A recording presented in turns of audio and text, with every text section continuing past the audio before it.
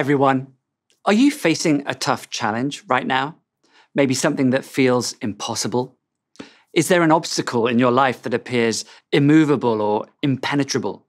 Is something stopping you from moving forward? We all face challenges in life, which at times we think, I just can't do it. I can't manage. When the Israelites come out of slavery in Egypt, and after 40 years of wandering in the wilderness, they finally cross over into the promised land. And what's the very first thing they're faced with? The impenetrable city of Jericho. Right there in their way, stopping them from moving forward.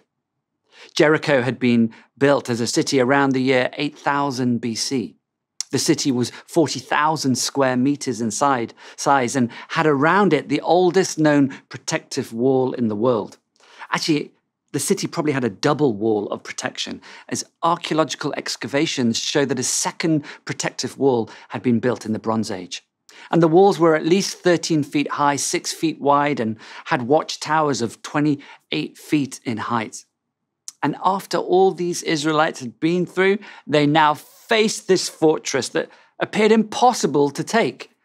They must have been so despondent. We all face Jerichos in our life. I wonder, what is your Jericho right now? That which seems impossible to succumb. Is it a work related Jericho? Something in your business that seems impossible to get through? Is it a relationship Jericho, a financial Jericho? Or maybe yours is a health Jericho, a, a healing you're longing for that just seems impossible. What are we to do in these moments? You might know the story how the Israelites embark on an unusual strategy given to them by God, and with the Lord's guiding, they achieve the impossible. They take the city. But the key to the breakthrough is actually in an encounter that Joshua, Israel's leader, has before the battle. And it's this part of the story that I want us to unpack today. So let me read the passage to you. This is Joshua chapter 5, verses 13 to 15. Now, when Joshua was near Jericho, he looked up and saw a man standing in front of him with a drawn sword in his hand. Joshua went up to him and asked, Are you for us or for our enemies? Neither, he replied, but as commander of the army of the Lord, I have now come.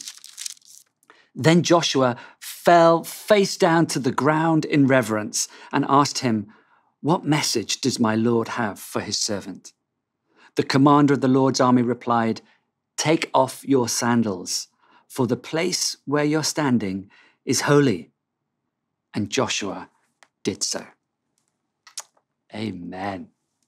This encounter is where the battle was won. It's the game before the game, as it were.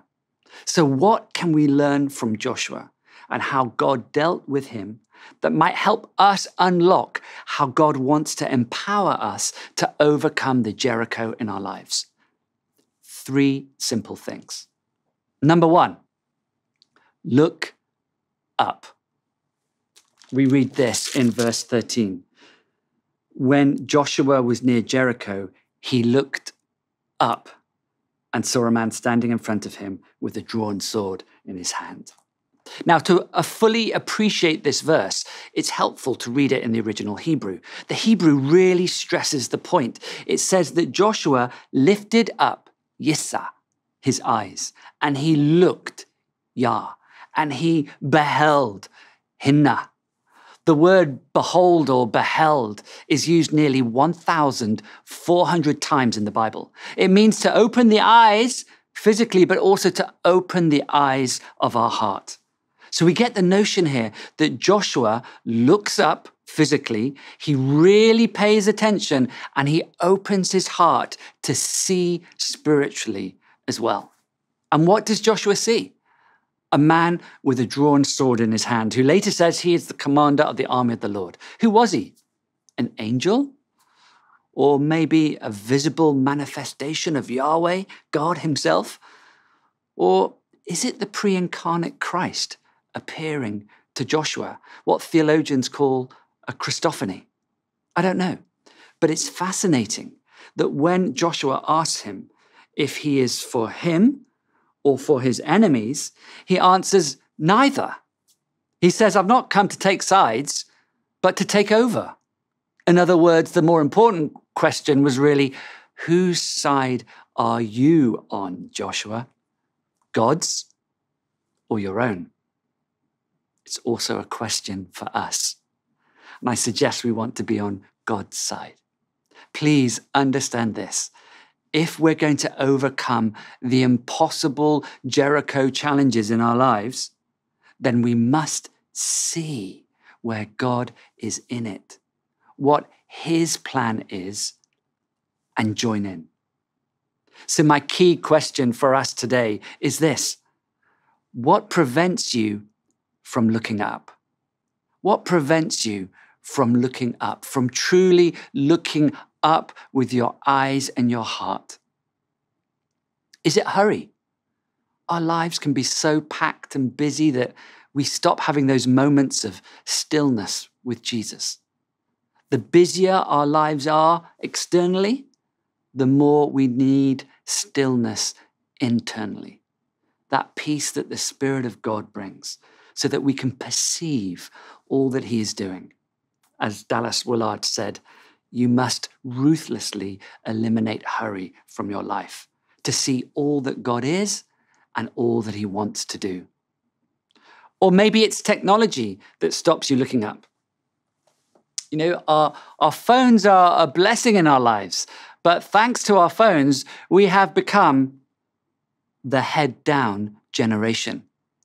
I remember a few years ago, I was in the US in the city of uh, Washington, D.C., and uh, the streets were crowded. And uh, I was walking along with my head down.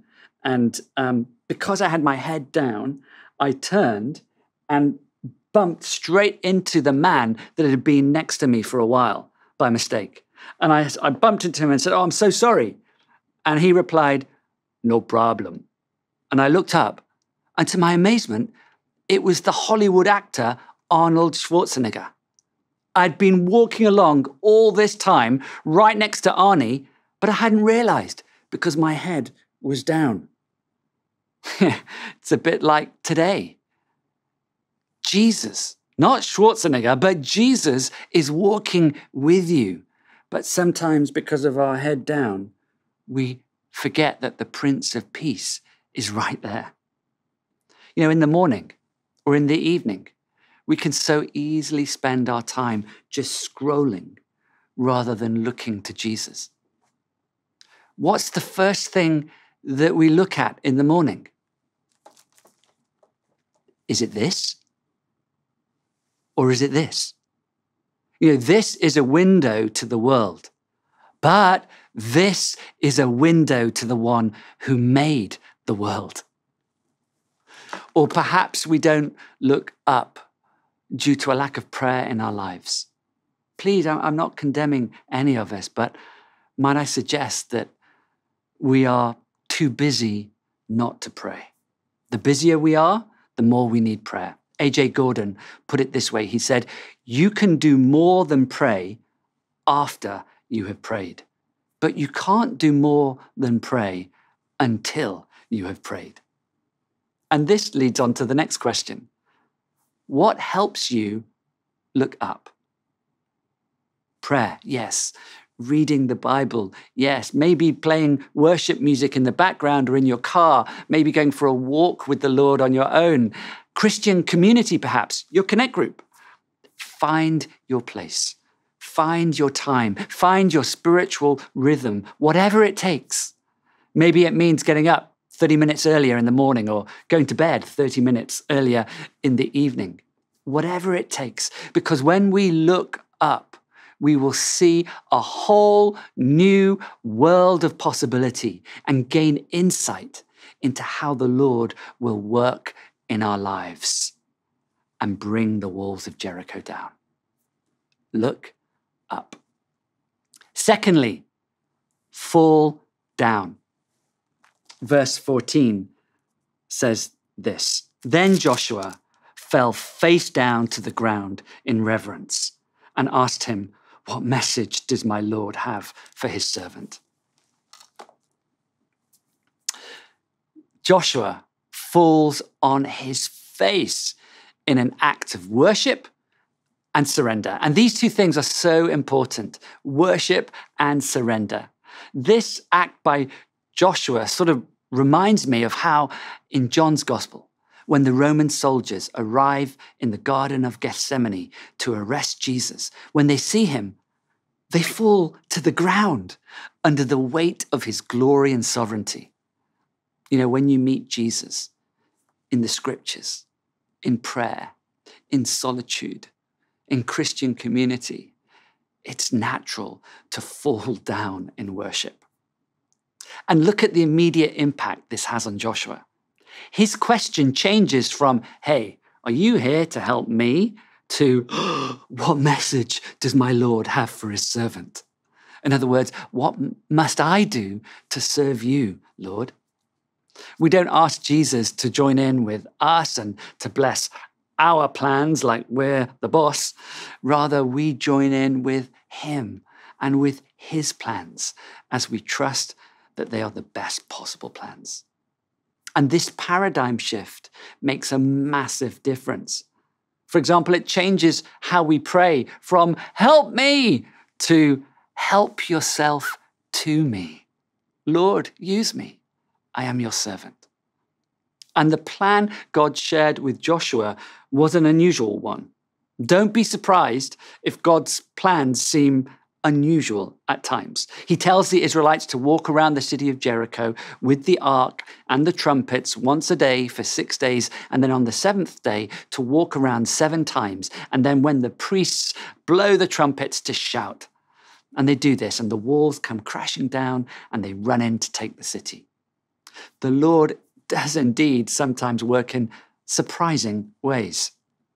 You know, after 190 years of the gospel not gaining that much traction in Thailand, the Lord is doing something remarkable in that country right now.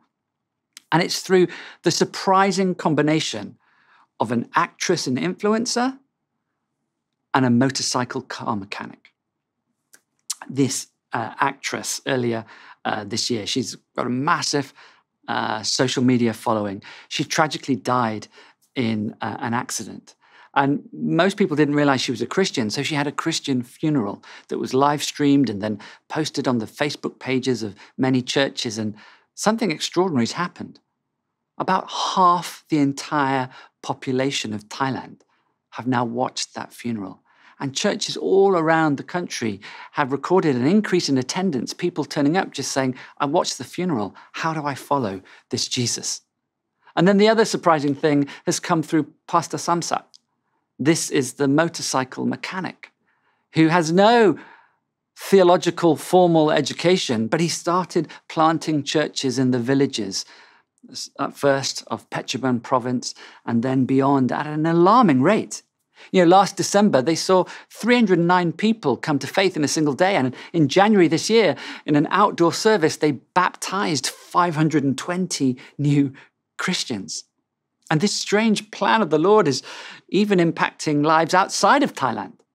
I heard this year uh, a woman's story. She's called Duan. She lives in Penang and she works for the Thai royal family there. And she watched the funeral service of this actress and influencer and thought, this is amazing. And as a result of that, found her way onto an alpha course at Wesley Methodist Church there in Penang. And then she came to faith and she's now been baptized. You know, God uses the most extraordinary things to bring about his plans and purposes. Will we surrender to Jesus? Will we surrender to the Lord and follow the plan that he has for our lives? He has a plan for you.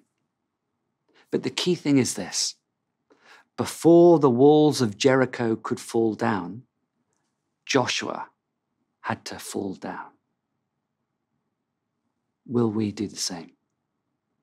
So look up, fall down, and then thirdly, take off. Take off your sandals.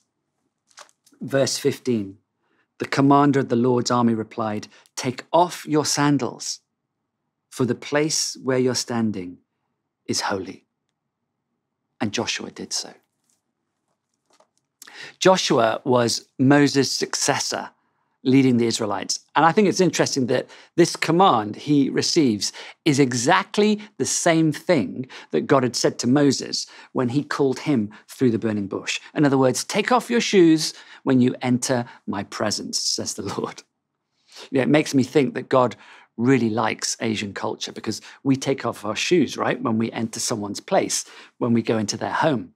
You know, when I'm when I'm in the West now, and I'm inside and I see people walking around inside the home with their shoes on, inside, I am freaking out. Internally, I'm silently screaming, going, Oh, cannot, seeing people walking around carrying the dirt on their shoes.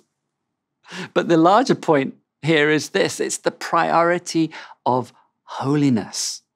The shoes were just symbolic. We cannot bring the dirt of our sin into God's presence. You know, if we're going to see major breakthrough in our lives, then it will be when we are living barefoot.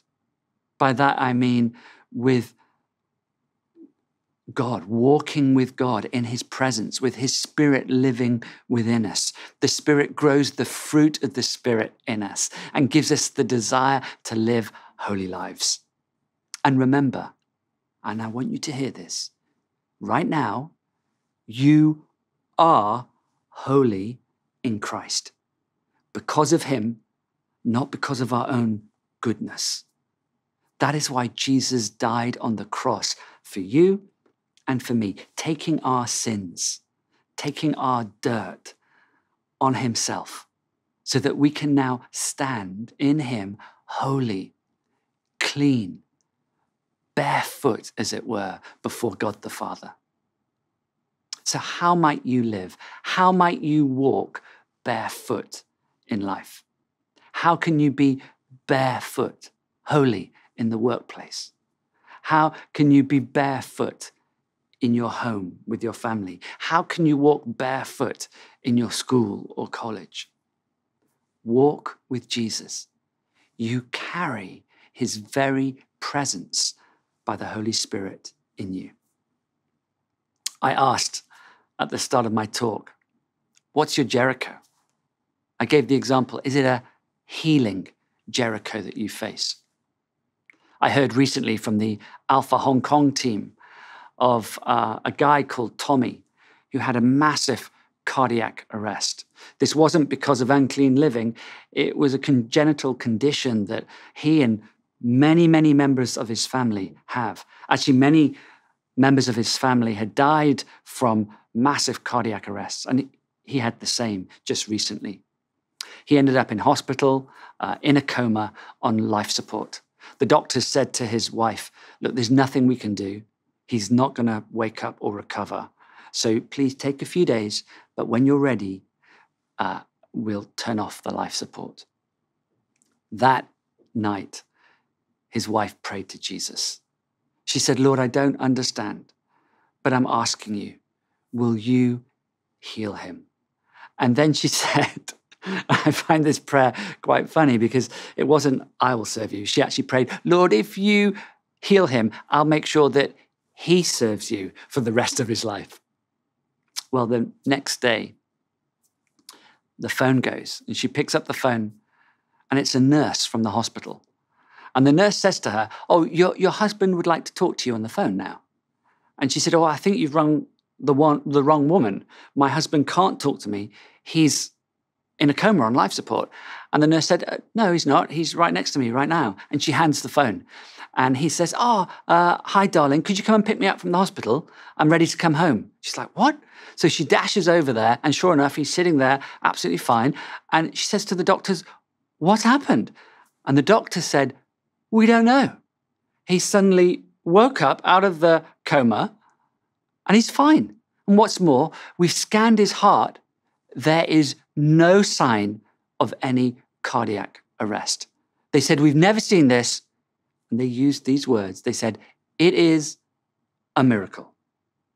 Now, this couple uh, went to their local Catholic church uh, and they, they told the priest, and the priest told the Vatican.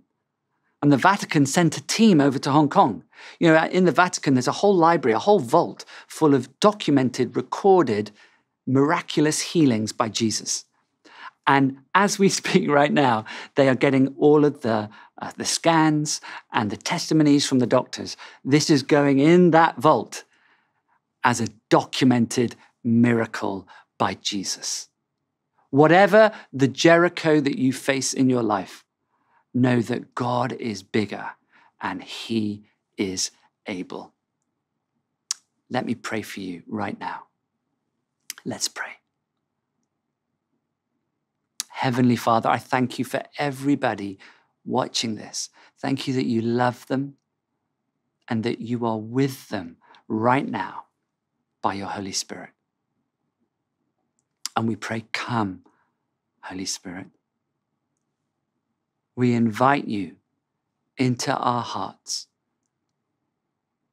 to make us clean, barefoot before our Heavenly Father. We turn from all that is wrong in our lives and we thank you, Jesus, that you died on the cross, that we can be in right relationship with our holy God. And we pray for the Jerichos in our life right now. We ask for breakthrough. Help us to see where you are in it, Jesus, to understand your plan, however unusual that might be.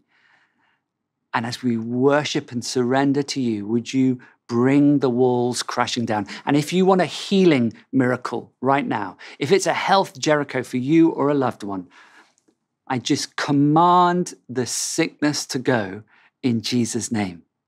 I command the illness, the injury to be healed in Jesus' name.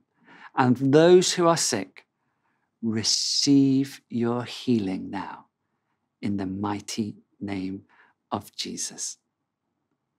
And thank you, Lord, that our greatest healing is the fact that one day we all will be resurrected and made perfect in Christ.